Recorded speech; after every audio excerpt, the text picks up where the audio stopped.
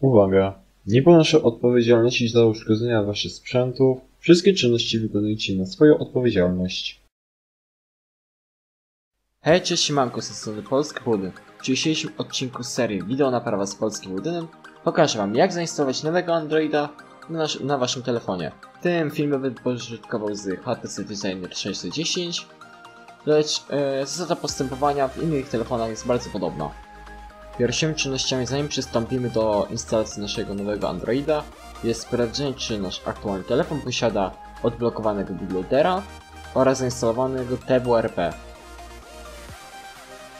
Jeśli wasz telefon nie posiada odblokowanego bootloadera, to musicie troszeczkę niestety pogłówkować sami, ponieważ proces odblokowania bootloadera każdym telefonie wygląda inaczej.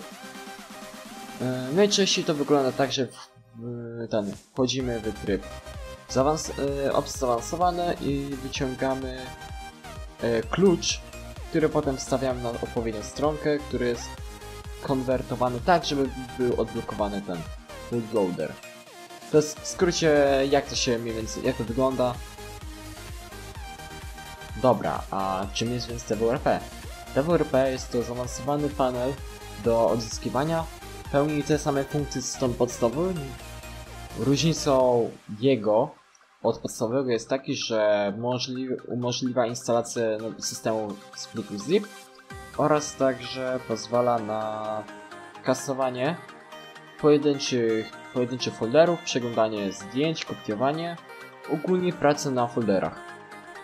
Jak upewniliśmy się, że te oby, obydwie opcje są w naszym telefonie aktywne, to przystępujemy, to przystępujemy więc do instalacji Androida.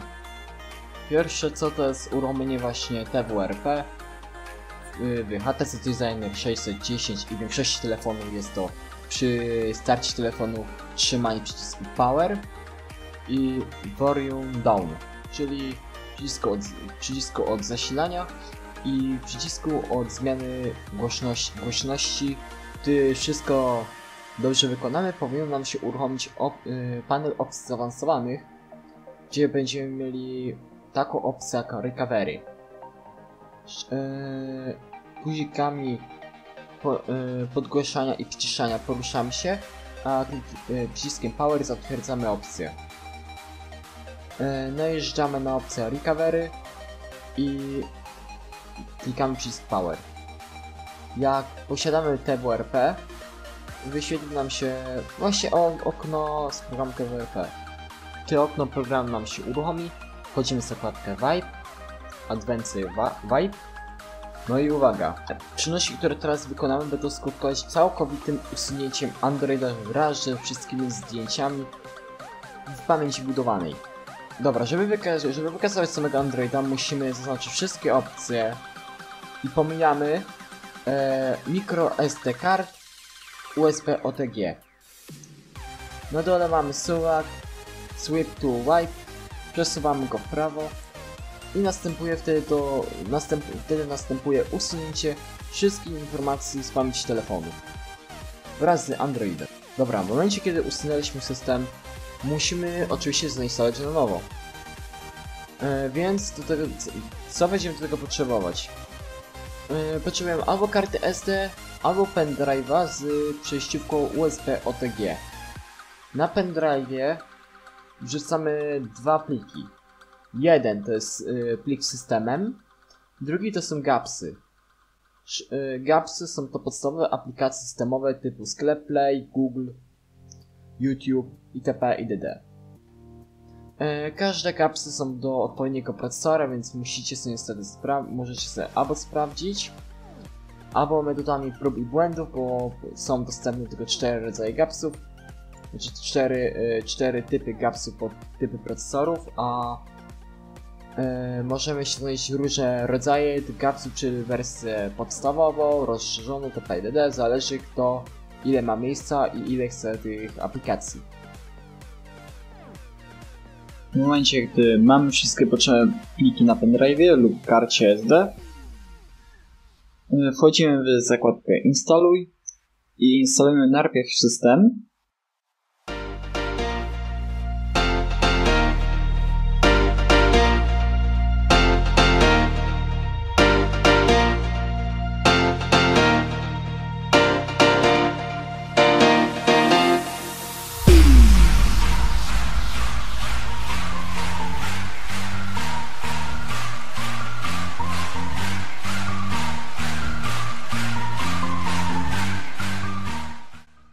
a potem instalujemy Gapsy.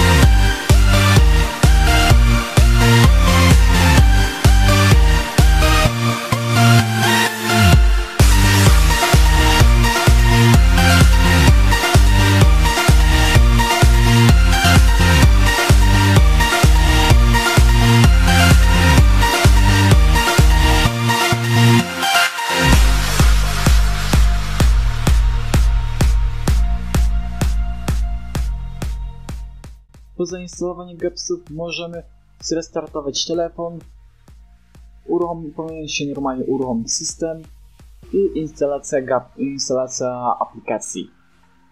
Po zakończeniu instalacji telefon jest gotowy do użytku.